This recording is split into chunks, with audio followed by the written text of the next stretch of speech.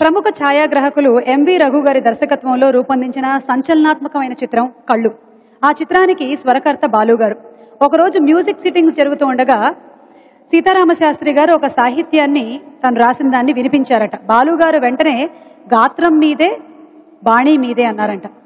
అదేంటి మీరుంటూ ఉండగా నేను పాట పాడడం ఏమిటి? అని మొహమాట పడ్డారట సీతారామ శాస్త్రి గారు.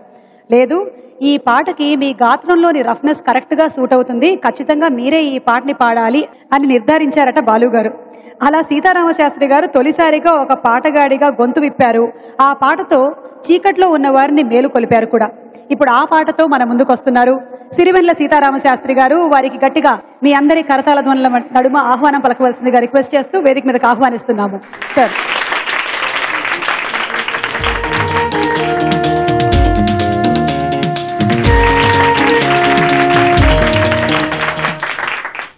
ఎంత పొడుగున్నో తేలుమంతరం రాదా అని నేను పాట బాగా రాస్తే రాసి ఉండొచ్చు కానీ బాగా పాడడం లే- లేదా అన్నది చాలామంది ఆదరిస్తున్నారు అంతే అది వేరే విషయం. అక్కడ నేను పాడట్లేదు ఆర్టిక్యులేట్ చేస్తున్నాను మాట అంటున్నాను. అయితే ఇప్పుడు పాడడానికి ఎందుకు వచ్చానంటే కొన్ని అద్భుతమైన సత్యాలు చరిత్ర మడుగును పడిపోతాయి. ఈ కార్యక్రమం ఒక గొప్ప చారిత్రాత్మకమైన సంఘటన. తరాల పాటు ఉండేటువంటి ఒక మహాపెన్నిధిని రామో రామోజీరావు సంకల్పించి ఈ స్వరాభిషేకం రూపంలో మా అన్నయ్య ఆధ్వర్యంలో ఒక అద్వితీయమైన ప్రయత్నంగా చేస్తున్న ఈ స్వరాభిషేకంలో కొన్ని కొన్ని చారిత్రక సత్యాలు చెబితే అవి కాలంలో నిలబడతాయని. కళ్ళు అనే సినిమా తాలూకు మొత్తం సారాంశంతో ఆ పాటలో రాయాల్సి వచ్చింది. అంతకు మునుపు కళ్ళు లేని వాళ్ళు ఆ ఐదుగురు వాళ్ళ ఐదుగురు కలిసి సంపాదించుకున్న దాంట్లో ఎవరిలో ఒకరికే చూపించి ఆ కొంచెం వయసులో ఉన్న కుర్రాడికి చూపించి వాడు తమను నడిపించాలి అని. ఇట్స్ సింబాలిక్ ప్లే ఆ కళ్ళు ఇవ్వడం అనేది అలాంటిదన్నమాట వాడు తమందరినీ వెలుగు వైపు నడిపిస్తాడు అనే కోరికతోటి కన్నిస్తే వాడికి కళ్ళు వచ్చిన తర్వాత కళ్ళు వచ్చి సరిగా చూడడం రాలేదు. అందువల్ల ఆ చుట్టూ ఉన్న లోకం ఇంతకాలం తాము గుడ్డిగా ఉన్న చుట్టూ ఉన్న లోకం మోసం చేస్తున్నా కళ్ళతో తెలియపోవటం మూలాన వాళ్ళు ఒక అమాయకమైనటువంటి ఒక అందమైన ప్రపంచంలో బతికారు. ఇప్పుడు వీడికి కళ్ళు వచ్చిన తర్వాత మిగిలిన ప్రపంచంలాగే సవ్యంగా చూడటం కాక అపసవ్యంగా చూడటం మూలాన్ని వీళ్ళని కూడా తన సహచరులను కూడా ఎక్స్ప్లోర్ చేసేటువంటి ఒకనొక దౌర్భాగ్య స్థితికి వాడు వెళితే చూడటం వచ్చిన వాడికే కన్ను ఉండాలి రానివాడికి కన్నుంటే అది చూడదు సరికదా పీడకలను చూపిస్తుంది అనే సాంకేతికతతో సంకేతం ద్వారా వాడికి కన్నిచ్చిన ఐదుగురు వాడి దగ్గర నుంచి ఆ కన్ను పీకేసుకోవడం అనే సారాంశం మొత్తం అంతా రాయాలి. చూపు అంటే కంటితో చూసేది కాదు కంటి వెనకాలను హృదయంతో చూసేది అని అర్థంతో ఒక పాట రాసి సాధారణంగా నేను ట్యూన్ లేకుండా రాసినప్పుడు ఏదో ఒక బాణి అనుకుని రాస్తాను. ఇక్కడి నుంచి చారిత్రక సత్యం మొదలవుతుంది. ఆ చిత్రానికి సంగీత దర్శకుడు మా అన్నయ్య ఎస్పి బాలసుబ్రహ్మణ్యం గారు. ఆ రోజు నేను వెళ్ళి ఈ పాట మీరు బాణి కడితే పట్టి పాడించాలి అని ఆయన చెప్పినప్పుడు నాకు పాట చదవటం రాదు. నేను అనుకున్న ఏదో ఒక విధానంలో అంటాను పాడడం కాదు. అది అన్న తర్వాత ఆయన ఏమన్నారంటే తమ్ముడు ఈ పాట నువ్వే పాడాను అది నేను పాడేటండి మీరు మీరంటే బాలుగారి సంగీత దర్శకత్వంలో నేను పాట పాడడం గొప్ప చారిత్రాత్మకమైన విషయమే కదండి. అది వాళ్ళు చెప్పుకోవాలి కదా. అప్పుడు అన్న ఏం చేశారంటే రిహార్సల్ రిహార్సల్ అని చెప్పి అప్పుడు ఒక పదిసార్లు ఆయన బుర్ర తిన్నాను. తర్వాత పదకొండోసారి కొంచెం ధైర్యం వచ్చింది. అన్నయ్య టేక్ చేద్దాం. నేను టేక్ చేస్తే నేను వచ్చే బాగానే పాడేవాలే అన్నారు. అలాగ నాకు నొప్పి తెలియకుండా నా చేత ఆయన పాడించిన పాట ఎనిమిది నెలల పాటు నన్ను జ్వరంలో పెట్టింది. కారణం ఏంటి? నేను బాడీసీని తెగించి ఇది శబ్దగ్రాహకం అయిపోయి ప్రజల మధ్యకి వెళ్ళింది. విపరీతమైన హిట్ అయింది. ఇప్పటికీ ఆ పాట హిట్ సాంగే. కాబట్టి ఇప్పుడు మీరు తంతాన్న భయం నాకు లేదు. నేను పాడతాను వాళ్ళు నాకు సహాయం చేస్తారు. ఎందుకంటే అప్పుడు ఏం మొదలైందో నాకు తెలియదు కదా. తెల్లారింది లెగండు.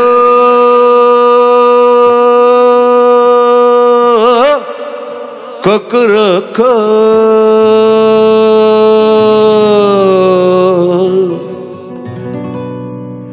మంచాలింక దిగండు.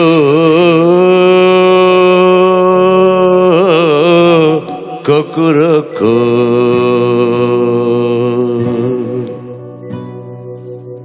తెల్లారింది లేగండు కొక్కురుకో మంచాలింక దిగండు కొక్కురుకో తెల్లారింది లేగండు కొక్కురుకో మంచాలింక దిగండు కుక్కురుకు పావులాటి రాత్రి పడగదించిపోయింది భయం లేదు భయం లేదు నిదర ముసుగు తీయండి. సావులాటి సీకటి సూరు దాటిపోయింది భయం లేదు భయం లేదు సాపలు సుట్టేయండి. ముడుసుకున్న రెక్కలిరిసి పిట్ట సెట్టు ఇడిసింది.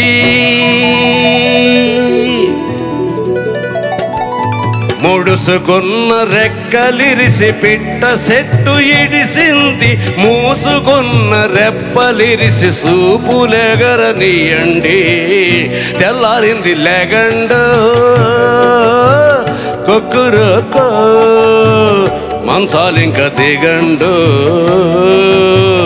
కొక్కురుకో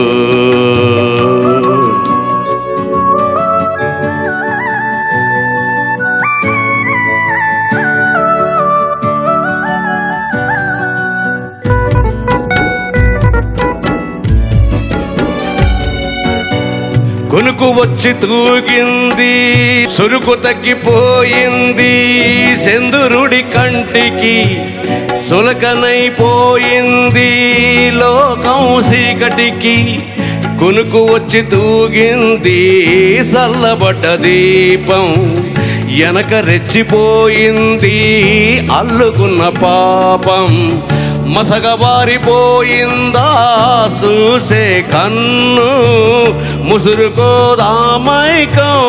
మన్ను. మిన్ను కాలం గట్టిన గంతలు తీసి కాంతుల ఎల్లువ గంతులు వేసి తెల్లారింది లేగండ కొక్కురుకో. మంచాలింక దిగండు కొక్కురుకో.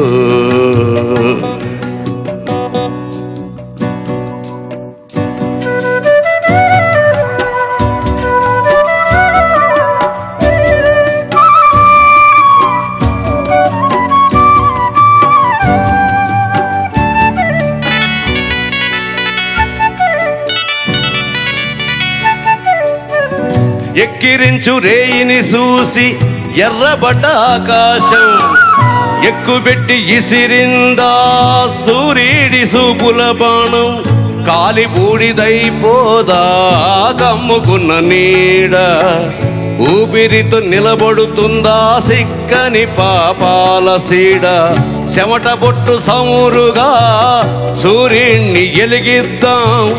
ఎలుగు చెట్టు కొమ్మల్లో అక్కిపూరు పోయిద్దాం ఏకువ సెత్తుల కత్తులు దూసి రేతిరి మత్తును ముక్కలు చేసి తెల్లారింది లెగండు. కొక్కరకో మంచాలింక దిగండు కొక్కురకో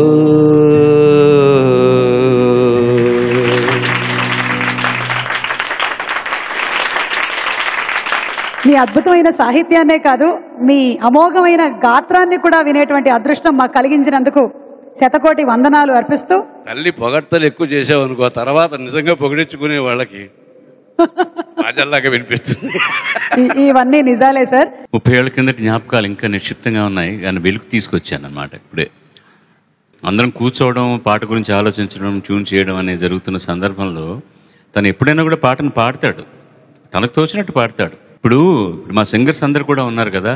అతనికి ఒక చిన్న ఇబ్బంది ఏంటంటే తాళం ఎవరో సైన్ చేస్తే ఎక్కడో బ్యాక్గ్రౌండ్ అయితే తీయాలని తప్ప ఎంత శృతి సుభగంగా పాడాడు ఫస్ట్ ఆఫ్ ఆల్ తను అనుకున్న శృతిని చివరిదాకా పర్ఫెక్ట్ అయినటువంటి శృతిలో పాడాడు.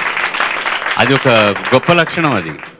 మిమిక్రీ చేసి రకరకాల గాత్రాలతో పాడడం వేరు అది వేరే విషయం. కానీ ఒక ఒక పచ్చి ఎక్స్ప్రెషన్ని ఒక పచ్చి గొంతులో అంత అందంగా చెప్పేటప్పుడు అలాంటి సినిమాకి అతను పాడితేనే బాగుంటుంది అనిపించింది నాకు. ముఖ్యమైన విషయం ఏంటంటే నేను నన్ను చాలామంది సంగీత దర్శకుడిగా పెట్టుకున్నది కారణం ఏంటంటే ముందు పాట గాయకుడిగా దొరుకుతాను ఈజీగా అని ఈ సినిమానే చాలా వైవిధ్యమైనటువంటి సినిమా. అసలు రఘు నన్నెందుకు అనుకున్నాడో నాకే తెలియదు ఎందుకంటే ఇందులో పెద్దగా పాటలు లేవు. అతనికి నా మీద ప్రేమ నమ్మకం. అనుకున్నప్పుడు శాస్త్రి మీద నమ్మకంతో రెండు పాటలు శాస్త్రతే రాయించాడు. పాటను రాసిన తర్వాత మనం కంపోజ్ చేసేటప్పుడు కవి మీటర్ ఏ మీటర్కి రాశాడో ఆ మ్యాటర్ ఏ మీటర్లో ఉందని తెలుసుకోవాలి. చాలా ఇంపార్టెంట్. నా నిబద్ధత ఏంటంటే అవసరమైతే నా ట్యూన్ను మార్చుకుంటాను తప్పించి అక్షరాన్ని మాత్రం నేను ఎప్పుడు మార్చను. ఇతను ఆ గాత్రంతో పాడి వినిపించగానే రఘుతో నేను రఘు ఇతనే పాడితే బాగుంటుంది ఈ పాట. దానికి ఒక న్యాయం జరుగుతుందయ్యా. ఎందుకు? హాయిగా కళ్ళు మూసుకుంటే ఒక అశరీరి ఎక్కడో పాడుతున్నప్పుడు దాంట్లో ఘంటసాల గారు బాలసుబ్రహ్మణ్యం మహమ్మద్ రఫియో కిషోర్ కుమార్ ఉండడం సాధారణమైన విశేషం. అది సాధారణమైన సినిమాలో జరుగుతుంది. ఇది అసాధారణమైన సినిమాలో అసాధారణంగా ఉంటేనే బాగుంటుంది గాత్రం. అంటే అందుకని ఈ పాట అంత అంత వైవిధ్యంగా వచ్చింది పాట. ఆ వాయిస్లో రాబట్టే ఇవాళకి అంత పాపులర్ అయింది ఆ పాట. నిజం చెప్పాలంటే ఆ రోజు కంటే ఇవాళ ఇంకా అంటే కొంచెం మనిషికి ధైర్యం ఉంది కదా ఇప్పుడు. తనేమిటో తను తెలుసుకున్నాడు. తనకు తెలుసు తనకేం కావాలో. తనకు తెలుసు తను ఏం ఇవ్వగలడు. ఆ ధైర్యంతో చక్కగా పాడాడు ఇవాళ పాట చిరంజీవ. ఒక సంగీత దర్శకుడుగా ఒక అనుభవజ్ఞుడైన గాయకుడే కాదు ఒక సంస్కారవంతుడైన వ్యక్తి మాత్రమే కాదు ఒక సంగీత దర్శకుడిగా పది పట్ పదం పట్ల కవి పట్ల ఉండేటువంటి నిబద్ధత ఎటువంటిదో ఆ సంస్కారం ఎటువంటిదో ముఖ్యంగా ఈనాటి వర్తమానం తెలుసుకోవటం మంచిది. ఈ వర్తమానం ద్వారా భవిష్యత్తుని సక్రమంగా సర్దుకోవడం కూడా చాలా మంచిది. అందుకు ఉపకరిస్తాయి ఆయన జ్ఞాపకాలు ఈ మాటలు. థ్యాంక్ యూ అన్నయ్య. Thank you sir thank you